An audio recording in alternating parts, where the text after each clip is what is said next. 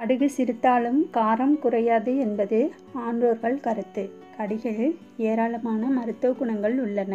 திரிகடுகம் என்னும் மூன்று மருத்துவ பொருட்களில் கடுகிற்குத்தான் முதலிடம். ஆகவேதான் நாம் அன்றாட உணவில் கடுகை பயன்படுத்துகின்றோம். கடுகு துருக்கியை தாயகமாக கொண்டது. ஆனால் தற்போது கனடா இந்தியா சீனா மற்றும் ஐரோப்பிய மண்டலங்களில் மிகுதியாக விளைகிறது. வெள்ளை கருப்பு மற்றும் பழுப்பு நிறங்களில் கடுகு விளைகிறது.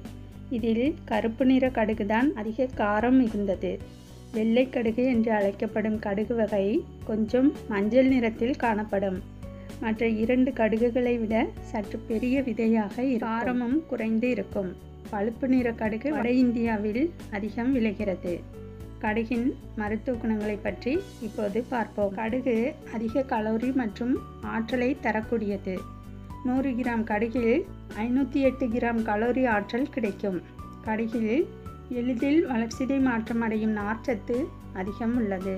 கெட்ட கொழுப்பை கட்டுப்படுத்தும் ஆற்றலும் உடல் பருமனை குறைக்கும் ஆற்றலும் கடுகிற்கு உண்டு. கால்சியம் மாங்கனீஸ் தாமிரம் இரும்பு செலினியம் துத்தநாகம் போன்ற தாது உப்புக்களும் கடுகில் உள்ள கால்சியம் எலும்புகளின் உறுதிக்கும் மாங்கனீஸ் சிறந்த நோய் எதிர்ப்பொருளாகவும் தாமிரம் இரத்த சிவப்பணுக்கள் உற்பத்திக்கும் இரும்பு செல்களின் வளர்சிதை மாற்றம் மற்றும் இரத்த அணுக்கள் உற்பத்தியிலும் பங்கெடுக்கின்றன. விஷத்தை கட்டுப்படுத்தும் தன்மை கடுகிற்கு உண்டு. கொலை எண்ணத்தோடு விஷம் பூச்சி மருந்து அருந்தியவர்களுக்கு இரண்டு கிராம் கடுகை அரைத்து கொடுத்தால் உடனடியாக வாந்தி ஏற்பட்டு விஷத்தின் தாக்கம் குறையும். கடுகு ஜீரணத்திற்கு உதவுகிறது. தினமும் காலையில் கடுகு மிளகு உப்பு ஆகிய மூன்றையும் சேர்த்து உட்கொண்டு பின்னர் ஒரு டம்ளர் வெந்நீர் அருந்தினால் தம் கபம் போன்றவற்றால் ஏற்படும் உபாதைகள் நீங்கும்.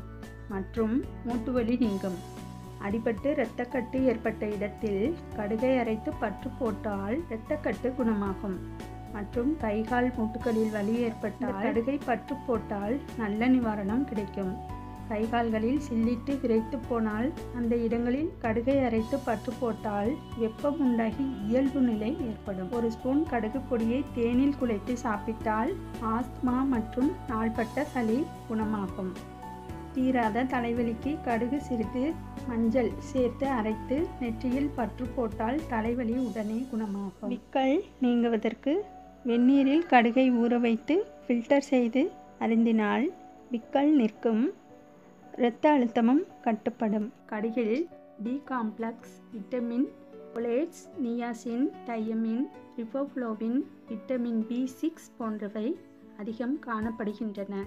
கடுகில் உள்ள பிளேவ்னாய்டுகள் உடலுக்கு அதிக நன்மை தருகிறது. கடுகு விதையில் இருந்து எடுக்கப்படும் சமையல் எண்ணெய் கெட்ட கொழுப்பை கட்டுப்படுத்துகிறது. இதனால் உயர் இரத்த அழுத்தம் ஏற்படுவது தடுக்கப்படுகிறது. கடுகு எண்ணெய் மூட்டு வலிக்கு நல்ல மருந்தாகும். இந்த எண்ணெயை சூடாக்கி பாதிக்கப்பட்ட மூட்டுகளில் தடவி ஒத்தடம் கொடுத்தால் மூட்டு வலி குணமாகும். வாத நோயை குணப்படுத்தும் தன்மை கடுகிற்கு உள்ளது.